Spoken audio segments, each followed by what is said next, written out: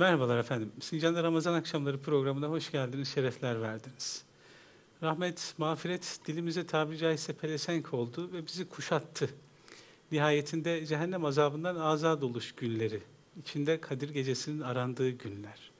Peki hakikaten bu arayışı sadece bu günler içerisinde mi yapmak lazım yoksa dünyasına dünyamızı şekillendirecek şekilde ehemmiyet veren Horasan erenleri gibi her geceyi Kadir bilmek mi lazım? Her gördüğümüzü Hızır bilmek mi lazım? İşte bugünleri bu anlamda idrak edip hayatımızı bu anlamda manalaştırmaya, mana kazandırmaya elbette gayret de müminin bir vasfı olsa gerek. Bizler hayatının manasını kendi dünyasında liyakatli bir şekilde yaşayan ve insanlığa yaşatma gayretinde olan ve bu anlamda kendisini de sadece bu ülke sınırları içerisinde değil, bütün dünyada tabiri caizse mana ikliminde konuşlandıran gönüllerle sizleri buluşturuyoruz. Bu akşam onlardan bir tanesiyle yine birlikteyiz ve sohbet iklimimizi onun güzel gönlüyle birlikte açmaya ve sizlere ikram etme gayreti içerisinde olmaya inşallah niyet ettik. Değerli konuğumuz, aziz dostum, girişimci, özellikle Türkiye'nin önemli iş konseylerinden birinde yer alan, vazifesini o şekilde devam ettiren ama aynı zamanda iş adamı olan, Türkiye sınırları dışında da keza öyle, Aybars Ünal Beyefendi. Hoş geldiniz. Hoş bulduk, hoş bulduk. Nasılsınız? İyisiniz, iyisiniz Hamdolsun, inşallah. elhamdülillah iyi. Sizler de iyisiniz. Elhamdülillah. Çok şükür. Allah razı olsun. İyi miyiz acaba? Nasıl görünüyoruz? Valla buradan bakınca gayet iyi görünüyorsunuz. Eyvallah. Allah razı olsun. Yani bakış çok önemli. Çünkü mümin müminin aynasıdır. Aslında mümin Eyvallah. müminin bir anlamda aynısıdır. Eyvallah. Bakan eyvallah. bakınca kendisini görür inşallah. İnşallah Eyvallah. güzel bakıyorsunuz, güzel görüyorsunuz.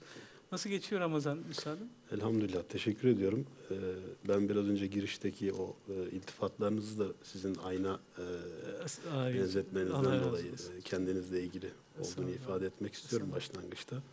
Ramazan tabi biraz bu sene buruk geçti. E, her sene aslında son yıllarda buruk geçiyor. Yani e, İslam coğrafyasında yaşanan üzücü hadiseler e, Ramazan'da adeta e, şahlanıyor. Evet. E, o yüzden de e, genel olarak gerçekten son yıllarda özellikle Ramazan'ı hep buruk geçiriyorduk. Ama bu sene tabii insanlık ailesi olarak bir belaya düşer olduk. Evet. Yani sadece İslam dünyası, Müslümanlar değil, bir küresel salgın, Evet. bir pandemi yaşıyoruz şu anda. Tabii vatandaşımız da evlerinde iki aydır, iki ayı aşkın süredir çok önemli bir sabır gösteriyorlar. E, tabii biz e, inanan insanlar olarak ee, sizin şer bildiklerinizde hayır vardır. Hayır bildiklerinizde de şer olabilir. Siz bilmezsiniz. Alemlerin Rabbi olan Allah en doğrusunu Amin. bilir. Düsturundan hareketle bu musibete de en iyi şekilde sabrederek milletçe göğüs geriyoruz. Gördüğümüz, e, gerdiğimizi de gözlemliyoruz şu anda. O yüzden bu sabrı gösteren tüm aziz milletimize şükranlarımızı sunuyoruz. Allah hepsinden Eyvallah. razı olsun Allah diyoruz. razı olsun. Rabbim yardımcımız olsun. Amin inşallah. Üstadım sözleriniz hakikaten çok kıymetli bizim için. Hakikattir sözleriniz, onu da biliyoruz. Lakin insan evvela kendisini bilmeliymiş. Eğer asıl maksat Rabbini bilmekse, kendini bilme yolunda, kendini konuşlandırma yolunda. Yani belki şu anlamda anlayabiliriz bunu. Bulunduğu nokta itibariyle kendisini dini mübini İslam'ın hassasiyetleriyle konuşlandırma, bir yer tutabilme, ahirete taalluk edecek güzel ameller, güzel fiiller işleyebilme noktasında belli bir yere oturtmak zorunda mümin. Ama bir dünya içerisinde yaşıyoruz. Herkes bizimle aynı hassasiyete sahip değil ki. Bir sürü desise var, bir sürü tuzak var, bir sürü gayya ve gussa ile uğraşıyoruz tabiri caizse. Yani bir yönüyle yalnızız belki mümin olarak. Onu da ifade etmek mümkün. İzninizle bir yalnızlığımıza merhem olsun için Kur'an-ı Kerim'e gönlümüzü açalım. Ardından bu durumu bir özetleyelim. Acaba neredeyiz? Dünyayı biliyoruz lakin dünyada neredeyiz? Dünya değişiyor lakin bu değişen dünyada bir rolümüz olacak mı? Olacaksa ne noktada konuşlanacağız? Bütün bunları konuşalım istiyoruz bize ayrılan kısa süre içinde. Allah Nasıl yaparız bilmiyorum ama Allah Rabbim vakti genişletsin inşallah. Eyvallah. Peki üstadım. Yenikent Şeyh Edebali Camii İmam Hatibimiz Hüseyin Yeşilyurt hocamıza gönlümüzü açıyoruz. Leziz bir tilavet ikram edecek inşallah. Buyurun hocam. أعوذ بالله من الشيطان الرجيم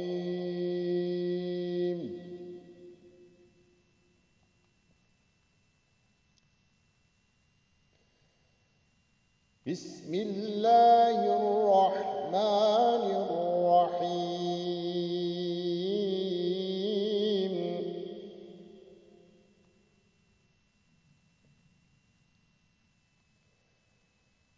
تبارك الذي جعل في السماء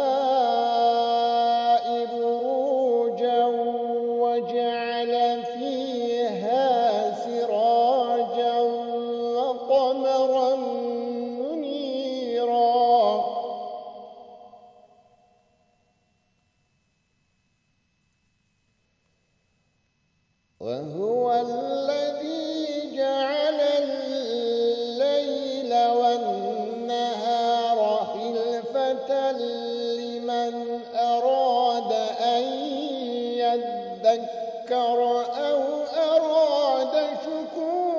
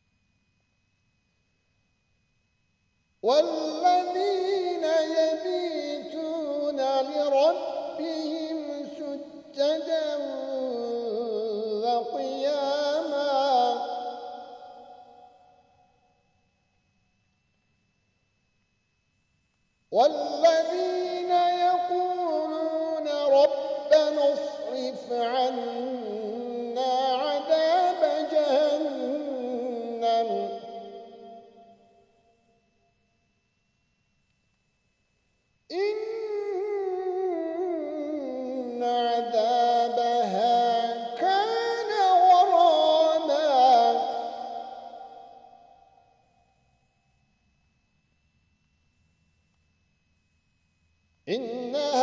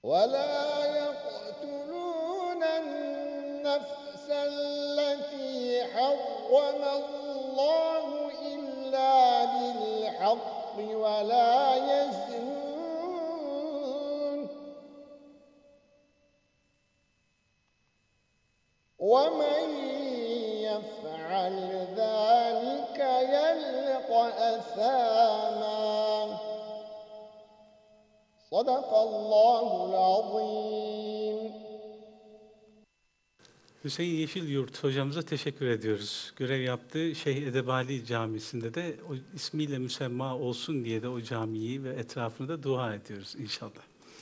Üstadım, eser e, Kur'an-ı Kerim'den önce e, arz etmeye çalıştığım husus üzerinden arzu ederseniz başlayalım. Bir durum tespiti yapalım. Neredeyiz? Ve ne oluyor dünyada?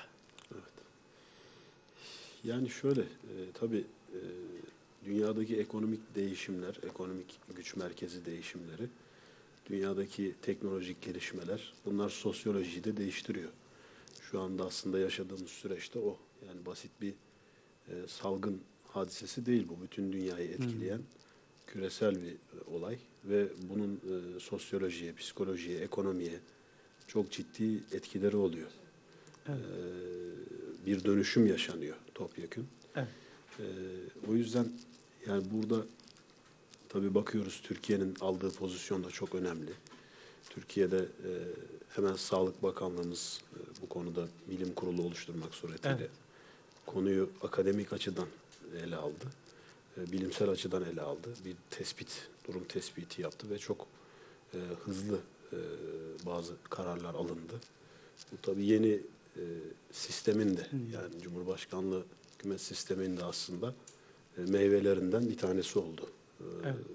Açıkça söylemek gerekirse biz bunu iş dünyası olarak da çok ciddi anlamda e, hissettik. E, Çünkü bu tür kararların geçmiş dönemlerde alınması çok daha zaman alabiliyordu. Şimdi çok daha hızlı e, adapte olduk. E tabii yani sağlık alanında yapılan yatırımlar Türkiye'nin bu süreci daha az hasarla atlatmasını sağlıyor. E, tabii. Kendi kendimize yetebilen bir ülke olmamız. İşte gıda e, konusunda elhamdülillah yani hemen hemen bütün ilçelerimizde, illerimizde, marketlerde birçok ürün sıkıntısı yani bir tek ufak tefek mevzi örnekler haricinde Tabii. bir sıkıntı, büyük bir sıkıntı yaşamadık hamdolsun. Dolayısıyla burada e, tabii devletin varlığının önemi ortaya çıkıyor. Yani e, başımızda bir devlet olması her şeyden önce yani siyasetten bağımsız olarak bunu söylüyorum. Bu devletin varlığı çok önemli. İşte bakıyorsunuz Sağlık Bakanlığı tedbirler alıyor. Hazine Bakanlığı, Ticaret Bakanlığı olarak bizim e, DEİK olarak aldığımız bazı e, kararlar var. E, bir organize hareket etme durumu söz konusu. O yüzden e, dünyadaki bu dönüşüm sürecinde bütün taşların yerinden oynadığı, bütün sistemin yeniden kurgulandığı ve yeniden yazıldığı ki e, birçok lider de bunu ifade ediyor biliyorsunuz. Sayın Cumhurbaşkanımız da ifade ettiler. Dedi ki bundan sonra artık hiçbir şeyin eskisi gibi olmayacağı bir döneme giriyoruz. Yani buradan ne anlamamız gerekiyor? Evet. Ee, buradan çok şey anlaşılır. Yani bugüne kadar Türkiye'nin dünyadaki adaletsizliğe yükselttiği ses, e, Birleşmiş Milletler Güvenlik Konseyi, dünya beşten büyüktür çıkışı ve bu e, beş tane dünya ülkesinin bütün dünya adına al- karar almasına karşı Türkiye'nin itirazları e, bu süreçten sonra ben öyle zannediyorum daha çok e, yer bulacaktır ve oralarda uluslararası kuruluşlarda da ciddi anlamda değişimler, dönüşümler gerçekleşecektir. Tabii bunun bütün dünyaya olduğu gibi ülkemize de ciddi yansımaları olacaktır. Ekonomik anlamda, sosyal anlamda, psikolojik anlamda. Ee, Bizim hazırlıklı olmamız lazım bu döneme. Devlette de önemli bir dönüşüm var. İş dünyasında da önemli bir dönüşüm var. Ben birçok iş adamı arkadaşımla konuştuğum zaman mesela son dönemde ya acaba bu kadar büyük ofis alanlara ihtiyaç var mıymış? Bu kadar çok çalışana ihtiyaç var mıymış? Ya da çalışanların her günde işe gelmesine ihtiyaç var mıymış fiziken? Yani evden de bazı işler yürütebiliyormuş gibi sorgulamalar var. Bunlar sorgulanacak, daha fazla konuşulacak bu dönemden sonra. Bir dönüşüm. Bu dönüşümün içerisinde e, kendimizi iyi konumlandırmamız lazım. Hem millet olarak hem devlet olarak. E, Ben eğer hazırlıklı olursak e, bu gelen dalgaların üzerine çıkıp adeta sörfçü gibi Tabii. gideceğimiz yere daha hızlı ulaşmamızı sağlayabileceğine inanıyorum. Ama hazırlıksız olursak da tabii Allah muhafaza dalganın altında kalma tehlikesi var. Tam bu noktada gönlüme gelen yönüyle sorayım size. Yani biz bundan 20 yıl öncesini, 30 yıl öncesini düşündüğümüzde o dönemlerde bu tarz şeyler başımıza gelseydi eğer hangi noktada oluruzu çok rahat aslında görebiliyoruz. Aynen Anlıyoruz ki bu süre zarfında devletimizi idare eden o gücün, o bir topyekün beynin tabiri caizse almış olduğu kararlar aslında şu gün yeni dünya düzeninde kendimize bir konum belirleme gücünü bize veriyor öyle değil mi? Çok doğru. Yani bu tespitinize katılmamak tabii mümkün değil. Ee, biliyorsunuz Cumhuriyetimizin ilk yıllarında Evet. savaş, ciddi bir savaştan çıkmış bir toplum idik. Ee, 1940'lı yıllarda kıtlık gördü bu ülke. Hepimiz dedelerimizden dinledik bunu. Ya. Ve o dönemlerde de gene bir dünya düzeni kuruluyordu. Hı hı. Ve e, İsmet Paşa'nın ifadesiyle o zaman işte yeni bir dünya kurulur. Türkiye'de orada yerini alır. Şimdi bu Türkiye'yi biraz bizi e, işte bir akıntının önünde savrulan bir yaprağa benzetmek gibi bir ifade. Ya kardeşim bir düzen kurulur biz de Bize ne rol veriyorlarsa bir yer buluruz veya otur dedikleri yere otururuz. E şimdi bakıyorsunuz bu dönem çok farklı dediğiniz gibi. Yani Türkiye e, bu salgınla özellikle e, hep salgına geliyor konu ister Evet, istemez çünkü yani- tek gündemimiz olduğu için e, burada üç tane üç tip devlet çıktı ortaya bu salgın döneminde. Birinci tip devlet başarısız devletler yani failed state dediğimiz bunda ba- mücadele etmede başarılı olamayanlar, başarı Evet. gösteremeyenler. İkincisi nispeten başarılı olan, kendi kendine yetebilen devletler. Üçüncü, üçüncü klasmanda en üst segment dediğimiz hem kendi kendine yetip hem başka ülkelere bu anlamda yardım ulaştırabilen devletler. Elhamdülillah bizim Türkiye'miz, devletimiz bu anlamda en üst segmente girmeyi başardı. Ee, biliyorsunuz birçok e, ülkeye yardımlar ulaştırıldı, dış yardımlar ki biz Dışişleri Bakanlığımızla da sürekli e, irtibat halindeyiz bu anlamda. Çok yakın zamanda Sayın Dışişleri Bakanımızla da bir e, online toplantı gerçekleştirdik. Kendisinden de birebir dinledik yani bütün dünyadaki yapılan yardımları. Maşallah. E, dolayısıyla zannediyorum çok yakın bir zamanda Bakan Yardımcımızı da konuk alacaksınız. Evet, ben inşallah. onun teferruatına girmeyeyim. Eyvallah. Yavuz Selim Bey e, benim de arkadaşım olur. Kendisinden daha detaylı dinlersiniz. Allah Ama hakikaten olsun. bunlar insanın göğsünü kabartan e, hadiseler. Tabii ki bu olumlu şeylerin yanında e, sıkıntılar da var. Onlarla da hep beraber millet devlet olarak mücadele etmeye çalışıyoruz. Hep beraber üstesinden gelmeye çalışıyoruz. Ramazan'ın da bereketi, bu Ramazan da bu salgına gerçekten iyi geldi. Yani biraz daha böyle insanın kendi içine dönmesi, muhasebe yapması, Ramazan'da biraz daha işte ibadet, taate yönelmesi, işte namazlarında aksama varsa onları toparlama gibi çok e, böyle birçok arkadaşımdan böyle olumlu bakış açıları da aldım. Eyvallah ne güzel. O anlamda e, hayırlı da oldu diye, e, hayırlı olmuş tarafları da olabilir yani. Eyvallah.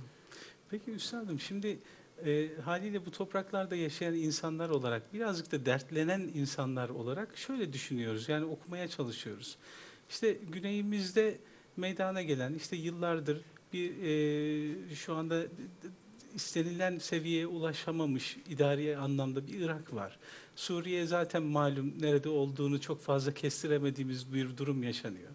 İsrail'le olan ilişkilerimiz hep bizi Filistin noktasında kendi inanç e, hassasiyetlerimiz doğrultusunda ciddi anlamda üzücü bir boyuta sürüklüyor gibi. Ama her şey bir tarafa bırakılırsa eğer karşımıza da şu çıkıyor. Yani Türkiye her anlamda gerek e, savunma sanayisinde gerek farklı ekonomik alanlarda şahlanmış bir noktayı tabiri caizse ifade edercesine böyle bir resim çiziyor.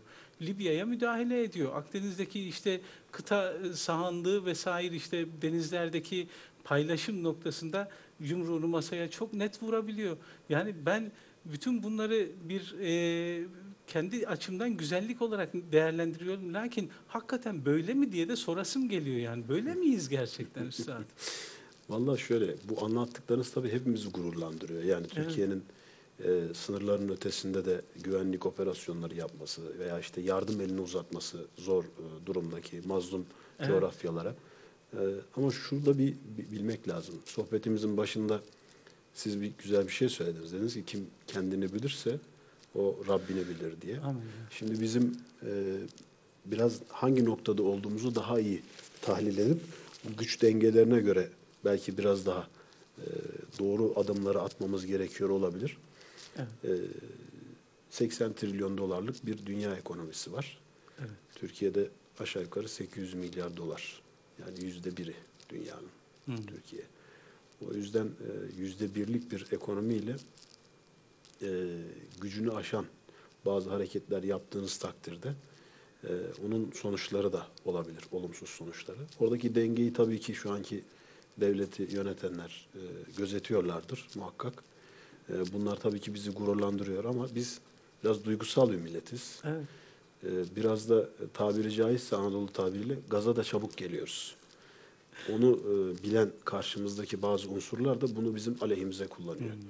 O yüzden e, burada da, burada da biraz temkinli olmakta fayda var diye düşünüyorum ben. Daha serin kanlı, daha akılcı, daha realist, dünya gerçekleriyle uyumlu, güç dengelerini gözeten daha sağlam adımlar atmak hem milletimiz için hem devletimiz için daha uygundur. Bize yakışan da odur zaten. Peygamberimizin tavsiyesi de odur. mutedil olmak. Eyvallah. Yani ortada olmak, orta olmak, ılımlı olmak. Ne uç, e, radikal anlamda uçta olmak ne de çok sünepe olmak.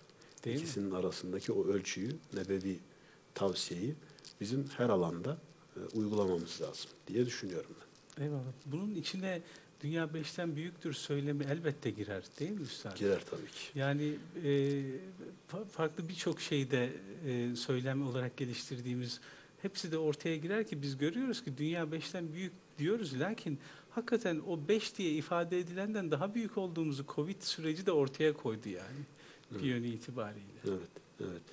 Ya gerçekten bu salgın sürecinde e, büyük devletler dahi çok büyük açmazlara girdiler. Tabii burada devletin yanında bizim milletin sosyal dokusu da E, tabii. çok önemli. Evet. Biz yardımlaşmayı çok seven bir milletiz. E, Zekat müessesesi, sadaka hayır müesseseleri bunlar halen çok aktif toplumumuzda yaygın. Ee, yani bir mazluma, mahalledeki bir e, garibe, düşküne 40 mahalleli yardıma koşuyor halen. Benim gözlemlediğim o. Aynen. O yüzden o sosyal doku bizi ciddi anlamda burada e, muhafaza etti diye düşünüyorum. Elbette ki devletimizin aldığı tedbirler bunlar da kıymetli, önemli. Hakikaten e, gerek işte Hazine Bakanlığı olsun, eldeki bütün imkanları e, güç yettiğince seferber ettiler bu süreçte. E, dünya beşten büyüktür bir söylem. Yani e, Peygamberimizin işte siz bir adaletsizlik gördüğünüz zaman gücü yeten e, eliyle, ona gücü yetmeyen diliyle, buna da gücü yetmeyen kalben Evet. buğz etsin e, emri var. Biz şimdi dille bunu e, yapabiliyoruz şu anda. İnşallah e, biraz daha biraz önce bahsettiğim akılcı, e, daha akıllı ve e, realist e, bundan sonraki dönemde özellikle yeni kurulacak ekonomik düzende daha iyi bir pozisyon alarak e, gücümüzü de katlayarak artık elle müdahale haksızlıklara noktasına geliriz diye ümit ediyoruz biz de. O Evet. yönde çalışıyoruz. Eyvallah. Ee, ifadelerinizle böyle aslında kendimizi bir anlamda tanımış olduk ve bu noktadan sonra atılacak adımları da aslında konuşmak lazım. Bir derleyip toparlayıcı noktada ülkemizin tabiri caizse büyük bir medeniyetin temsilcisi olması gerçeğini de göz önünde bulundurarak artık e, yeni dünya düzenindeki konumumuzun olması gereken konumumuzun üzerinde birazcık daha konuşalım isteriz ama bir eser okuduktan sonra. Hay Olur mu Üstad? Aynen. Peki efendim. Buyurun.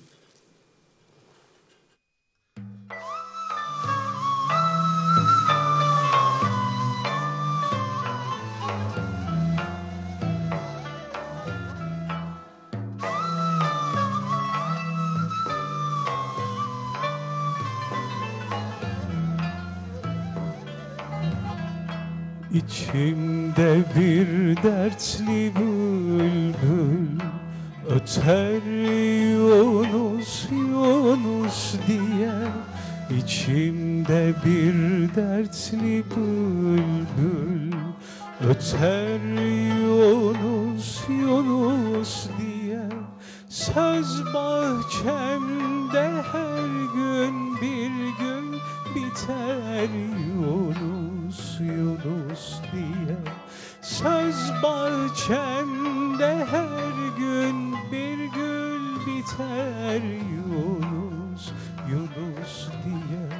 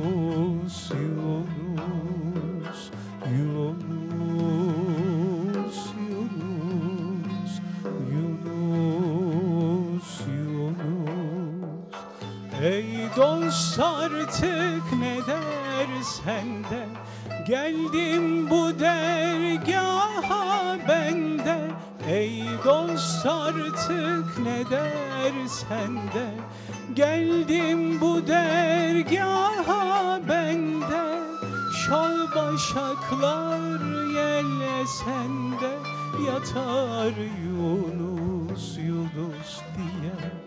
Şal başaklar yellesende Yatar Yunus Yunus diye. Yunus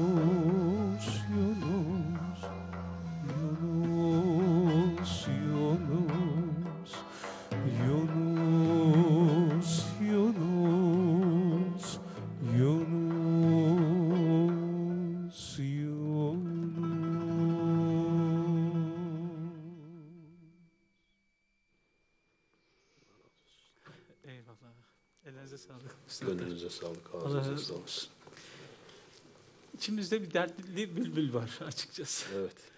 Ee, bu sohbette onun tezahürü gibi bir şey Allah oldu. eksik etmesin. Amin. Eyvallah. Dert odur ki gide dünya kala din. Dert değildir gide dünya kala din. Dert odur ki kala dünya gide din demişler. Yani hani eğer bir dert sahibi olacaksak derdimizin dermanının da derdin için, içinde gizli olduğunu bilerek o derde bakmak lazım. Derde sahip olmak lazım. Ama dermanı da hakikaten Cenab-ı Allah'tan bilmek lazım. İçinde bulunduğumuz durum bizi daima bir mefkureye, hani ecdadımızın kızıl elma diye nitelendirdiği mefkureye götürüyor. Nereye gitmek istersen aslında kızıl elmayı da oraya koyuyor Cenab-ı Allah bir anlamda. Sen yeter ki hedefini doğru tayin eyle. Ülke olarak nedir hedefimiz? Yani nereye gidiyoruz hakikaten? Nereye gitmeliyiz daha doğrusu? Çünkü yalnız değiliz. Biliyoruz ki buradan bir ses, e, bir yankı, daha doğrusu bir ses çıktığında yankısı Afrika'dan duyuluyor. Türk dünyasından duyuluyor. Afrika ile birlikte Arap dünyasından duyuluyor. Halklar ülkemize bakıyorlar şu anda. Ne yapıyor Türkiye acaba diyorlar. Ona göre biz de konumlanalım diyorlar. Böyle görüyoruz. Bu gerçek değil mi üstadım? Yani Tabii, böyle cereyan ediyor tabii, hadise. Gayet tabii. Gayet tabii. Nereye gideceğiz o halde? Gitmemiz gereken hedefimiz nedir? Vallahi şöyle şimdi e, ifade ettiğiniz gibi biraz önceki e, geçti yüzde birlik bir ekonomik belki ağırlığımız var ama bu bahsettiğiniz çarpan etkisi e, çok çok büyük. Yani onu ölçümlemek de çok mümkün değil. Uluslararası kuruluşlar da çok ölçümleyemiyor. Yani Türkiye'nin nerede neyi ne kadar harekete geçirebileceği konusunda Evet. çok e, bilinen bir çalışma yok. Bunu öngörebilmek de çok Eyvallah. mümkün değil. Bizim bunu bunun bilincinde olarak e, bu tarihin ve aslında Cenab-ı Allah'ın bize yüklemiş olduğu bir misyon bu bahsettiğiniz. Yani bu bizim belki kendimizin tercih ettiği bir şey olmaktan ziyade Hmm. biraz bize tarihin, ecdadımızın, atalarımızın yüklediği bir misyon. Biz nerede e, biz zulüm varsa ona sessiz kalamıyoruz millet olarak. Bakın bütün dünya sussa biz zulme karşı tek bir e, başımıza da kalsak bizim devletimiz zulme karşı sessiz kalmıyor. Uluslararası platformlarda da bunları dile getiriyor. Ama tabii ifade ettiğiniz gibi burada e, nereye gitmek istediğimiz hedefler çok önemli. E, dünyada büyük bir dönüşüm var. O dönüşümün aktörleri var. O aktörleri iyi tanımak lazım. Tabii. E, çünkü e, ben geçenlerde en son kitap okudum. E, Çinli bir hem filozof hem de komutan. Milattan önce 500 yıllarda yaşamış Sun Tzu. Hmm. E, orada çok aklımda kalan bir şey var. E, diyor ki e, kendisini ve düşmanını e, tanımayan diyor. Hı hı. Her savaşta mağlup olmaya diyor e, mahkumdur. Hem kendini tanıyacak hem düşmanını. Tanımazsa mağlup Sadece olacak. sadece kendisini veya sadece düşmanını tanıyan diyor bir galip bir mağlup olur diyor. Şanstır diyor. Hmm. Ama diyor hem kendisini hem düşmanını tanıyan asla mağlup olmaz diyor. Çok güzel. Dolayısıyla e, burada bizim hem kendimizi hem de dünyayı iyi tanımamız lazım artık.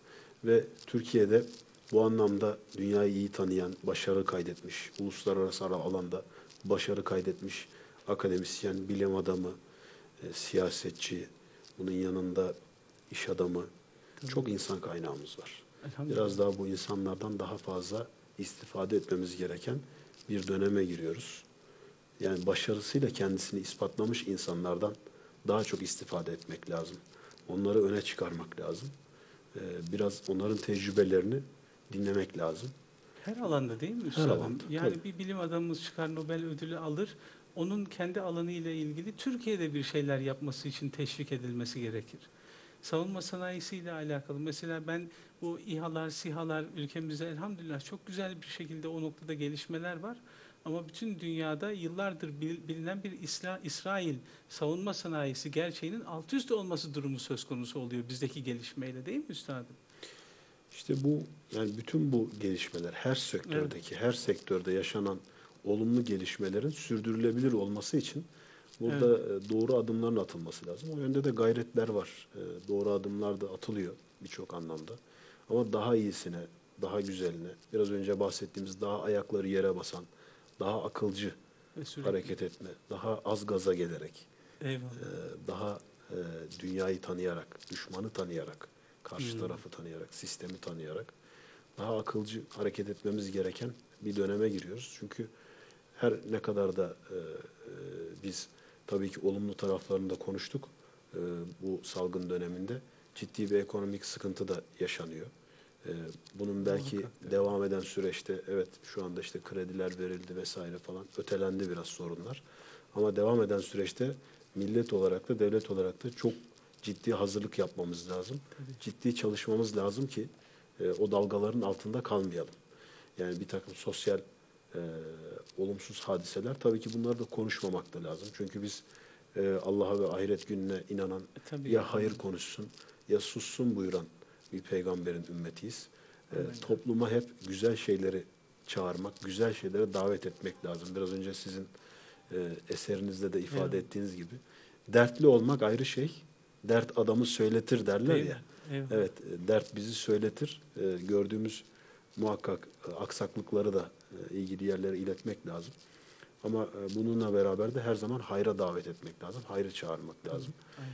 Ben e, bundan sonraki süreçte hem devletimiz hem milletimiz için daha iyi bir noktaya doğru gideceğimize inanıyorum.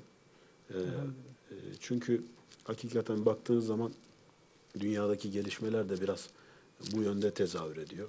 İşte biraz önce sohbetin ilk aşamasında sordunuz işte ne oluyor diye. Bugün işte yükselen bir Çin var. Tabii. dünyanın en büyük ekonomik gücü haline gelmiş durumda şu anda. Ve onun yapmış olduğu işte 21. yüzyılın en vizyoner projesi diye adlandırılan işte yeni İpek Yolu projesi var. Bir kuşak bir yol projesi. E bakıyorsunuz Türkiye onun orta koridoru. Avrupa'ya en kısa geçiş güzergahının Evet. üzerinde. Evet. E, Bu Cenab-ı Allah'ın da bir e, lütfu yani. Yani. Dolayısıyla bunu iyi değerlendirirsek e, buradan geçecek bütün ticaret varlığı, bu varlık transferi, bu dünyadaki ekonomik dönüşümden Türkiye'de güçlenerek çıkabilir. Ama e, hamaset üzerine e, biraz gaza gelerek böyle ve gaza getirilerek yanlış adımlar atarsak o zaman da bu avantajı kullanamama ihtimalimiz de var.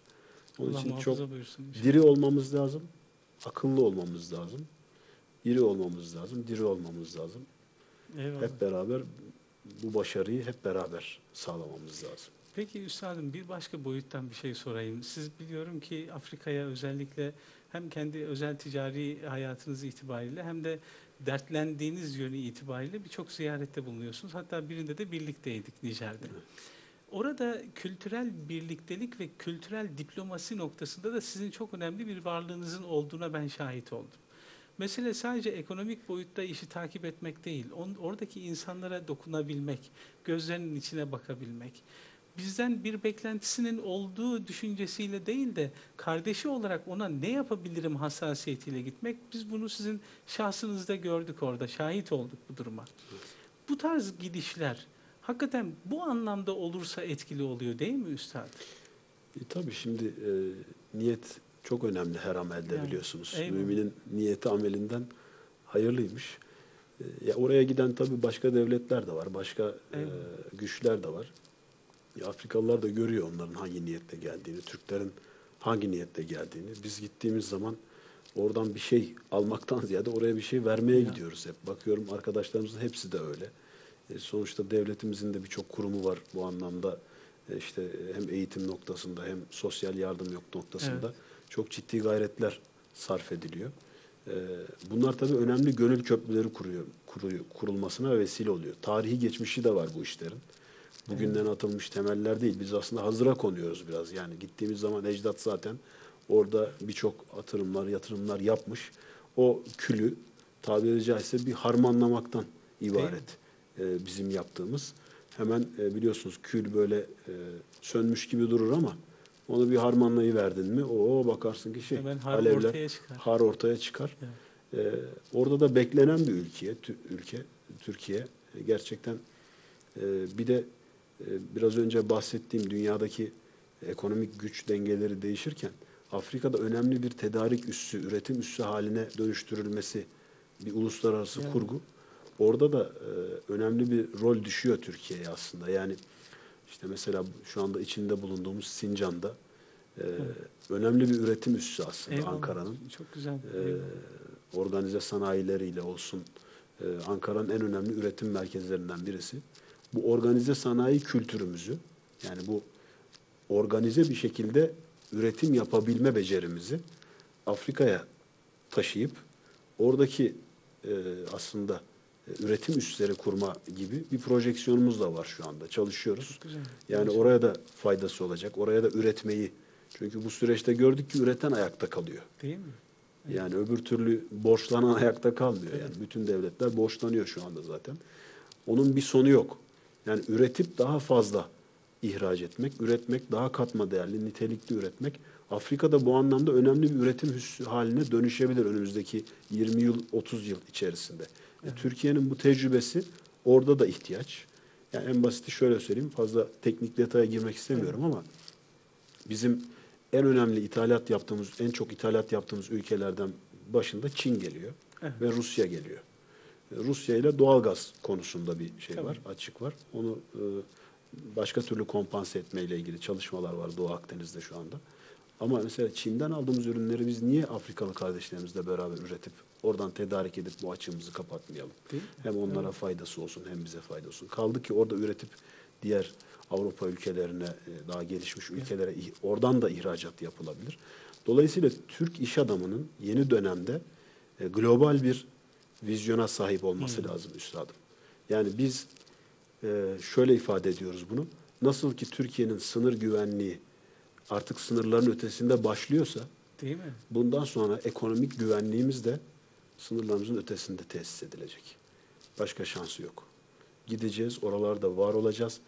İnsani boyutuyla da var olacağız, sosyal boyutuyla da var olacağız.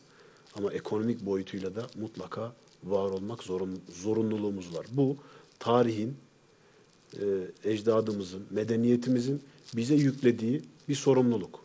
Yani bundan kaçış yok. O yüzden bununla dertleniyoruz da, millet olarak da dertleniyoruz. E, bunu başarmak zorundayız. Eyvallah üstadım. Tabii şöyle anlamak da lazım belki bir yönü itibariyle. Nasıl ecdadımızdan bu bize bir aktarılan vazife ise, tevdi edilen vazife ise bu işin mana boyutunda da biz bunları niye yapıyoruz? Bir ticaret olsun, kazancımız artsın vesaire. Sadece bunun için mi? Elbette değil. Ee, Ahmet Yesevi Hazretleri'nin atmış olduğu asayı takip ederek, onun gölgesinde Öyle. gölgelenerek tabiri caizse gidip Anadolu'yu fetheden Alparslan'dan önce buralara gelen erenlerin ayak izlerini takip ederek yolumuzu devam ettirmek zorundayız. Öyle değil mi Üstad? Öyle. Hep mana boyutunu da göz önünde bulundurarak. Belki bu mana bizi daha kul yapacak, daha insan yapacak. Ve gittiğimiz yerler işte biz ayak bastığımız andan itibaren yeşermeye başlayacak. Eyvallah Üstad. Hakikaten sohbet çok güzel gidiyor. Yalnız zaman her zamanki oldu, her zaman olduğu gibi akmaya devam ediyor. Evet. Yani elimizin avucumuzun içinden kayarak gidiyor. Programın sonuna doğru geldik. Bir özetleme, toparlama mahiyetinde hem içinde bulunduğumuz Ramazan'ın bize vermiş olacağı dersleri tabiri caizse iyi alabilme noktasında bunları bir derlesek, toparlasak. Hani komşusu açken tok yatan bizden değildir diyen bir peygamberin ümmeti olarak. Ya da bayramı bayramı şerife ulaşacak bir mümin ne yapar? Elbette kendi aile efradına yapmış olduğu her e, harcama da onun için bir sadakadır. Lakin etrafa da bakacak. Bu hassasiyetle sanki evimizin içindeki halimizi bütün dünyaya yansıtmış oluyoruz değil mi? Neler söylersiniz bu noktada Üstad? Vallahi e, Necip Hocam gerçekten güzel bir milletiz. Evet. Ben e, Türk milletinin bir ferdi olmaktan her zaman gurur duydum. Gurur duyuyorum. Necip bir milletimiz var sizin isminiz gibi aynı. Eyvallah. Yardımlaşmayı seven, diğer gam, merhametli. Bu millete hem bu coğrafyanın hem dünyanın ihtiyacı var. Bu milletin değerlerine ihtiyacı var. Geçmişte olduğu gibi milletimizin değerlerinin ihya edildiği dönemlerde dünya bakıyorsunuz hakikaten bir nefes almış. Kendine gelmiş. Ne zaman ki milletimizin değerleri, milletimiz güçten düşmüş, dünyada karanlık çağlar yaşanmış, karanlık dönemler yaşanmış. O yüzden Türk milletinin böyle bir Cenab-ı Allah'ın verdiği bir vasfı var. Ee, bu kıymeti, bu vasfı bir hazine bilip çok kıymet vererek omuzlarımızda milletçe taşıyalım diyorum ben. Çünkü bu salgın dönemi de bize gösterdi ki bizim sıradan gördüğümüz hayatımız aslında çok büyük nimetmiş bize. Yani dostlarla kucaklaşmak, annemizin babamızın Yani. elini öpmek, onlarla sarılabilmek, onlarla vakit geçirebilmek. Ee, bu salgın döneminde gördük ki bu sıradan gördüğümüz hayat aslında büyük bir nimetmiş bize. O yüzden bu bu işlerin kıymetini anlayarak Allah'ın bize verdiği hayat ki zaman biraz önce ifade ettiğiniz gibi dünyadaki bütün sermayeyi bir araya getirsek bir dakika bir saniye satın Yani. alma gücü yok o sermayenin. Dolayısıyla en kıymetli şey de insanın, özellikle de inanan bir insanın en kıymetli hazinesi zamanıdır. Burada yaşadığımız zamanla dakikalarımızı, saniyelerimizi bir kıymet bilip, bir ideal, bir mefküre, bir inanç doğrultusunda, inandığımız değerler doğrultusunda e, söylem ve eylem birliği olarak. En önemlisi de bu. E, bir de ben e, özellikle şeyi tekrar vurgulamak istiyorum. Yani hamaseti bırakmamız lazım. Evet. Üstadım. Eyvallah. Yani bu hamaset konusuna bir çözüm bulmamız lazım. Bu gaza gelme olayına bir çözüm bulmamız lazım. Bir e, anekdotla e, ben sözlerimi noktalamak istiyorum. İşte eskiden padişah efendilerimiz sarayda bir dal kavuk kadrosu ihdas ederlermiş. O kadro şunun için varmış. Ben de sonradan öğrendim. İşini yapmayan, düzgün yapmayan birileri dal kavukluk yapmaya kalktığı zaman bir dakika o senin işin değil derlermiş yani.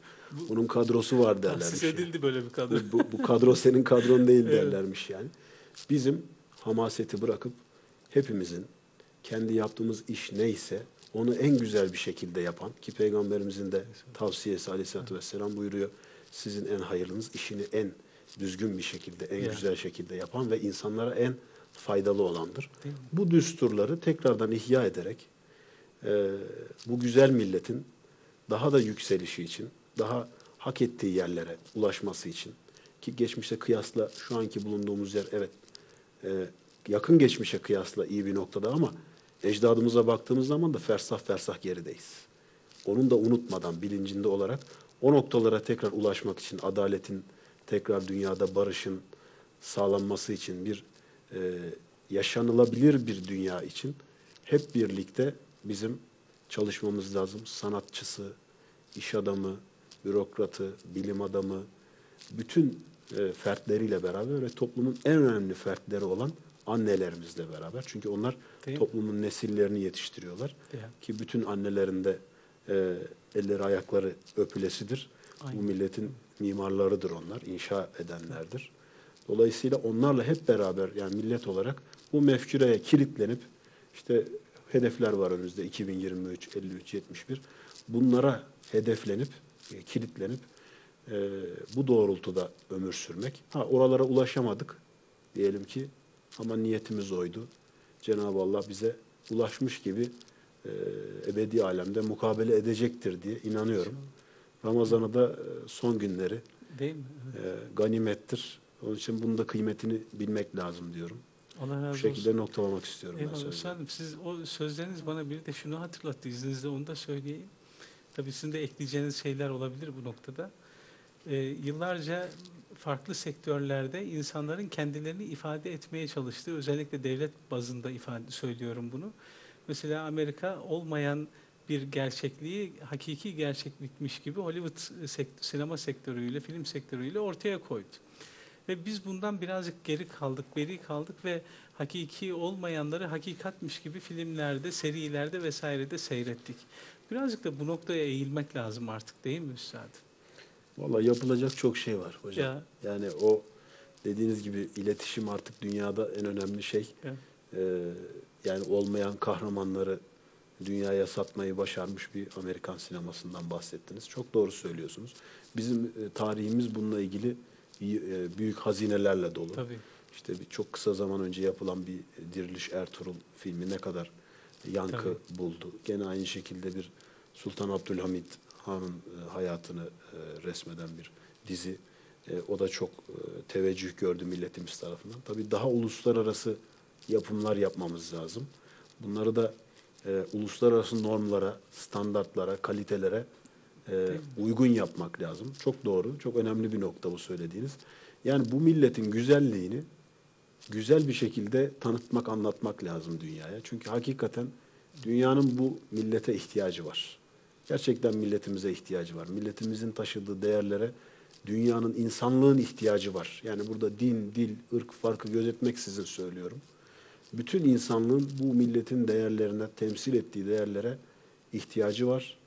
Ee, o yüzden e, insanlık için e, bunu yapmak lazım. Güzel anlatmak lazım. Güzel e, yapımlarla, kaliteli yapımlarla sizin e, özellikle e, uzmanlık alanınız bu. Sağ olun, E, kaliteli işler yapmak lazım. İnşallah. E, çok önemli bir nokta iletişim. Evet. E, bu çağın en önemli e, algı yönetimi açısından en önemli. En önemli e, faktörlerinden bir tanesi tabii ki. Musa Hanım çok teşekkür ederiz. Ben Programın teşekkür sonuna ediyorum. geldik. Hakikaten güzel bir program Çok sağ olun. Ben de zaman nasıl geçti anlamadım Evet, ben de biraz. hakikaten yani e, çok keyif aldım ben. E, zaten sizinle geçirdiğim her zaman benim için çok kıymetli. Aynı şekilde bir mukabele. Davetimizi kabul Allah ettiğiniz için teşekkür Biz ederiz çok teşekkür size. ediyoruz nazik davetiniz için. Hayırlı akşamlar Eyvallah, diliyoruz. Allah razı olsun. Bir eserle veda edeceğiz. Değerli seyirciler, e, iş adamı, girişimci Aybars Ünal Beyefendi ile beraberdik. Türkiye'nin bulunduğu konumunu, aslında hedefimiz nedir onu bir şekilde konuşmaya, de- değerli sohbetinden istifade etmeye gayret ettik değerli konuğumuzun. Ve programın nihayetine geldik. Bizleri takip ettiğiniz, seyrettiğiniz için sizlere teşekkür ediyoruz. Bir eserle veda edeceğiz. Yarın yine Sincan'da Ramazan akşamları programıyla sizlerle birlikte olacağız. O zamana kadar ve daima sizleri Cenab-ı Allah'a emanet ediyoruz efendim. Allah'a ısmarladık. Buyurun.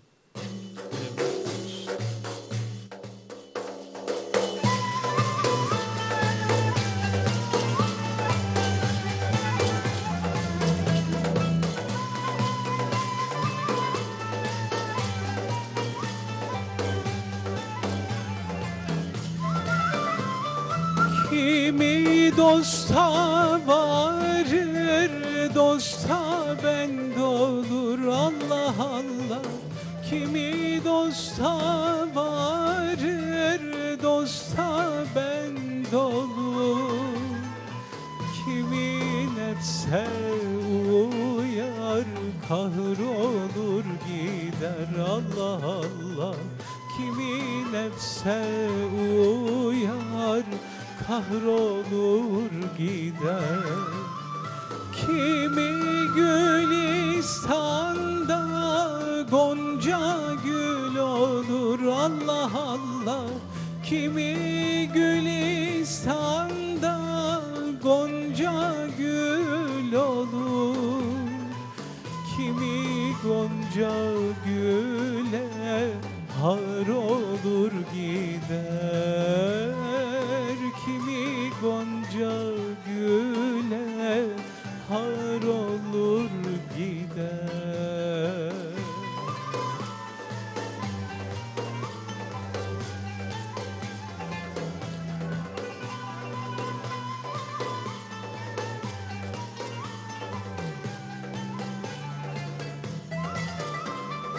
Kimi tevbe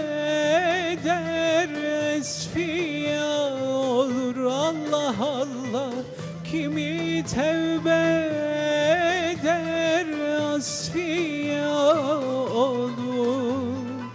Kimi inat eder kahrolur gider. Kimi inat eder kahrolur gider. Kimi Ahmet seni uzaktan tanır Allah Allah. Kimi Ahmet seni uzaktan tanır? Kimi yaklaşır da kör olur gider? Kimi yaklaşır da kör olur gider? Kimi uzaklaşır da kör olur gider. Kimi yaklaşır da kör